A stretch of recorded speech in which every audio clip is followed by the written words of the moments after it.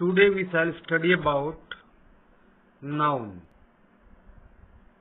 Noun is the name of person, place or things.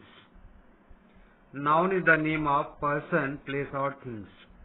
For example, Rahul drives car in Lucknow. Rahul drives car in Lucknow. Here we can see the words in red color Rahul, car and Lucknow they all are nouns. Other examples we can see Rahul's family gifted villa in friend's marriage. Here are words in red color Rahul's family, villa, friends and marriage. They all are nouns. Rahul, family, villa, friends and marriage, they all are noun.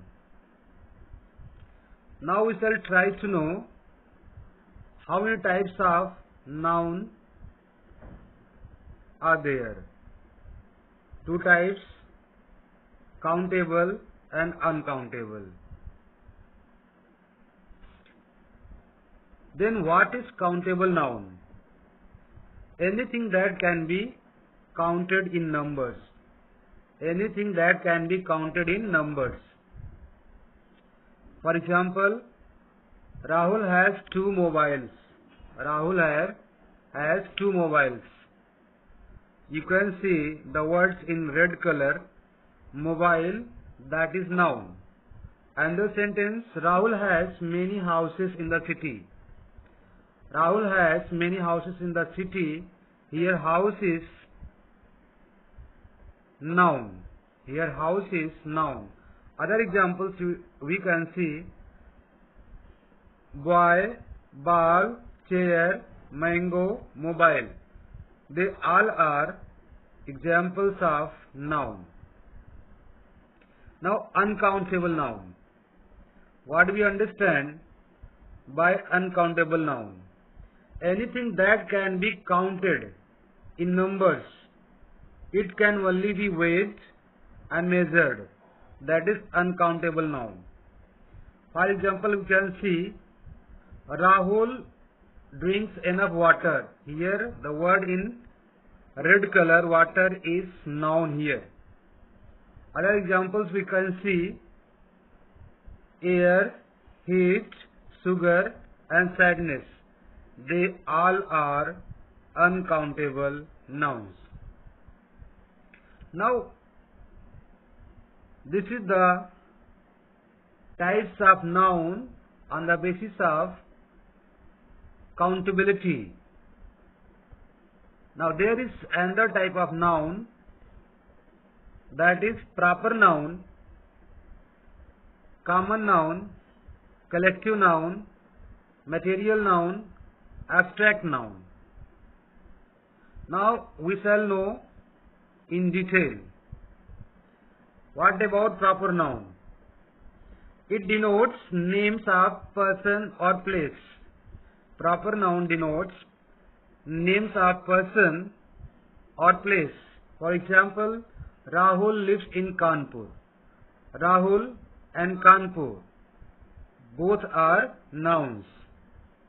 Other examples we can see Sheila and Lucknow. They are the examples of proper noun.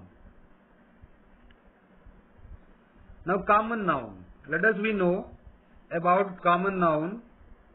It denotes the name of common things. It denotes the name of common things. For example, Rahul has many friends. Here the word in red color friends that is noun, common noun. As another example, Rahul is a good student. Here student the word in red color that is common noun. There are other examples of common noun also parent, soldier, player and children. They all are examples of common noun.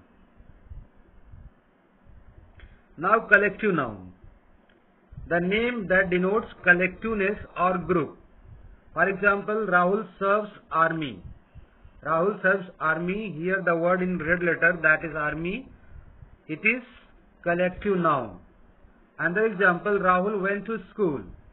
Here school, the word in red color that is crowd, party, team or market. They are the examples of collective noun. Now material noun. Anything that denotes material or object. For example, Rahul has laptop and mobile. Here laptop and mobile is material noun. Rahul has a beautiful house. That is also a material noun. Other examples of material noun is mango, football, milk and dress. They are the examples of material noun. Now let us see about abstract noun. Idea or concept. Idea or concept that cannot be seen or touched.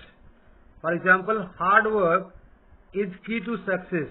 Here, hard work and success that is abstract noun. Another example, friendship leads to happiness. Here, friendship and happiness, they are the examples of abstract noun. Other examples, sadness, beauty, laziness, health. They are the examples of abstract noun. Thank you. Thank you very much.